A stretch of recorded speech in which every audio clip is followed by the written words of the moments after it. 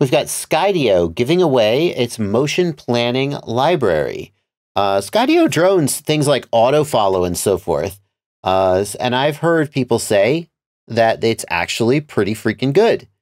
Uh, obstacle avoidance and auto follow. So, is that the library we're talking about here, Drip Plenty?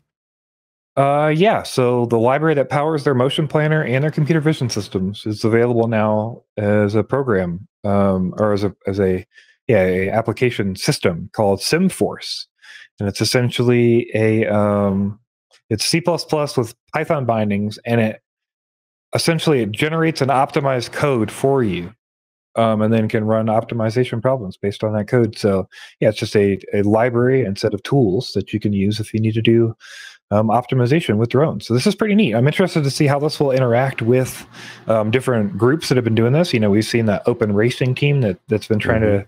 We yeah. talked about that does the AI racers and stuff, and uh, hopefully this will integrate well into some of the work that's already being done and can push that forward. Well, this is the kind of code that is very difficult to write on your own.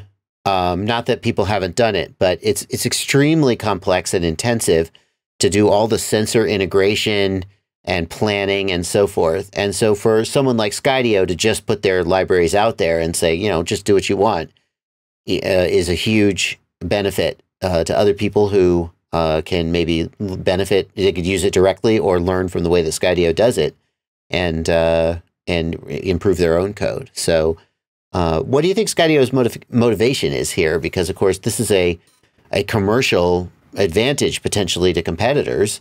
Uh, and I often think companies don't just do these things out of the goodness of their heart. What's in it for them?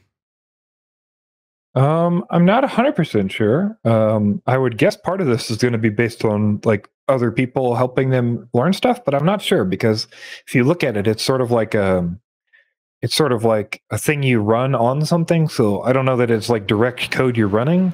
It's mm. like you take code and optimize it with this sort of thing, or you take like system, like ideas and optimize them with this. So um, yeah, I would. I, am not totally sure um, exactly how this is going to help um, Skydio in the future, or if this is just some kind of nice gesture. Maybe they have a better system internally that they're using. Oh, there you go. You know, they're they're it's passing good, on good PR. People.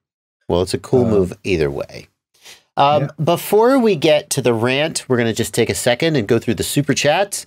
I also want to acknowledge, thank you, Rogers, who has uh, found out we were watching. That was his drone in the waterfall. Uh, think that's the right account. Uh, how did you crash? Do you have DVR? Oh, yeah, that's what I want to know. He must have heard we were talking about him. What made you crash? Tell the truth. Did you like hit something, or did you just go in the water? Did you lose yeah, video? How did you break an? How did you break? How'd you break the, the arm? Yes. Or do you know? Yeah. I want to. I want to see the DVR recording so we know what actually happened.